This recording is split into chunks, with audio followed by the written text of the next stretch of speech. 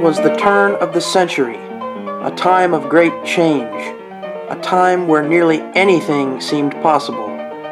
Around then, many of the inventions which make the modern world what it is were created.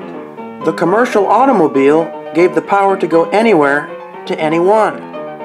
And in small corners around the world, the first movie theaters were created.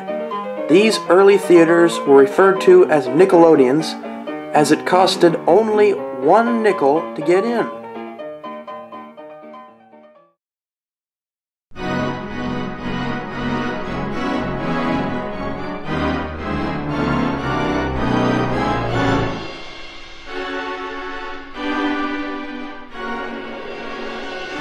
With popularity and profits rising, these Nickelodeons were soon replaced by the much larger movie palaces.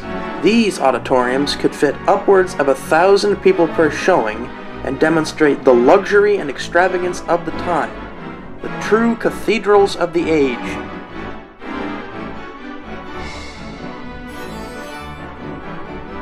The only thing left to do to round out the theater entertainment experience was to upgrade the films themselves. And in this effort, the studios threw everything they had at the screen and created The Epic, a series of productions the scale of which had never been seen before on the cinema. The biggest actors, the biggest sets, the biggest productions.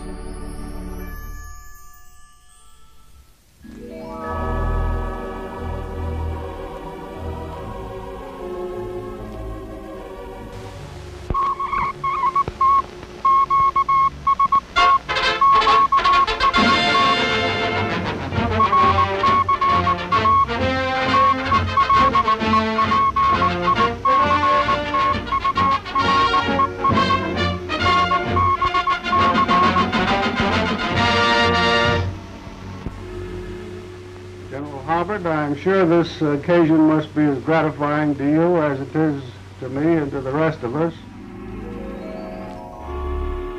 On July 7th, 1936, NBC produced the very first television broadcast, the successors to which, some 20 years later, would be the final blow to the spectacle of the movies.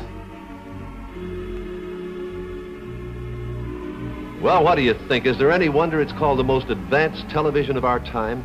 And the credit all belongs to Philco television scientists who have worked years to develop a radically new semi-flat picture tube which measures less from front to back than any you've ever seen.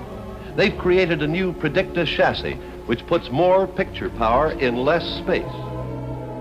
During the 1950s, the popularity of television had grown significantly, and the television itself grew more and more advanced.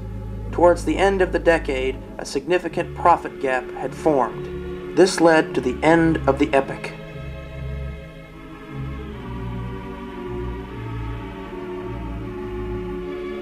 One by one, the grand old theaters fell to progress.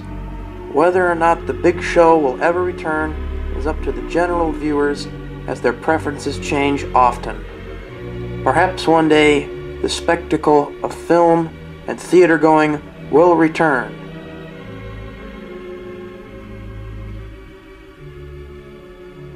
Now was the time for the Fox to take its last bow.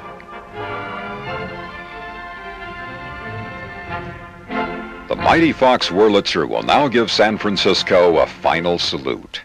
As the organ lowers into the pit, we hear the last sounds from the Fox Theater.